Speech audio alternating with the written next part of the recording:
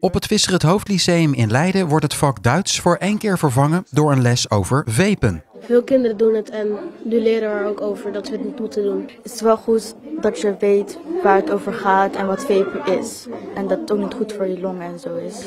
Longarts Frank Borm bedacht de les samen met andere artsen. Hij wil kinderen waarschuwen voor het vapen. Omdat daar nicotine in zit. Dat is heel erg verslavend. En dat maakt dat je eigenlijk als je één hele vape een keer opgerookt hebt, dat je waarschijnlijk al je lichaam daar zo aan gewend is dat hij niet meer zonder de vape wil. Dus dan kom je niet meer van je vape af. En veel vapen is slecht voor je gezondheid. Door te vapen kun je misselijk worden of erg gaan hoesten. Je kunt ontstekingen krijgen aan je longen en de kans op de ziekte kanker is ook groter. Daarnaast is het heel schadelijk voor je hersenen. Dat komt doordat er veel nicotine in de vape zit. Daar kun je onrustig of angstig van worden. Wie van jullie heeft wel eens gevaped? Uh, ik niet. Ik ook niet. Ja, één keer. Nee, nee. Omdat iedereen heeft het er wel zeg maar een beetje ook over. Dus ik wou ook gewoon een keer weten zeg maar wat het is zeg maar.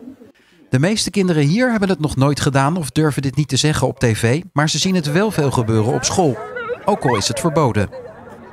Ja, ik kwam dus een keertje de wc in en toen trok ik de deur open. En toen uh, zaten er allemaal kinderen zo um, in de wc te vapen en een beetje te giechelen en zo.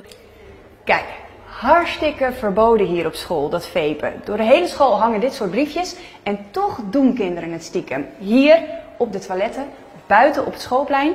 En dat is dus niet alleen op deze school een probleem, maar op scholen in heel Nederland gebeurt het. En daarom zijn veel scholen blij met het lespakket van de artsen. Zo'n 2500 leraren hebben het al gedownload en de kinderen hier hebben er een hoop van geleerd. Wel goed, want je ziet om je heen dat veel mensen het doen in de puberteit. En dan weet je ook dat jij het niet moet doen, want het slecht voor je lichaam is. Eerst dacht ik altijd een beetje van, oh dat lijkt me eigenlijk wel een beetje lekker. Maar nu denk ik opeens van dat het eigenlijk wel echt heel erg slecht is.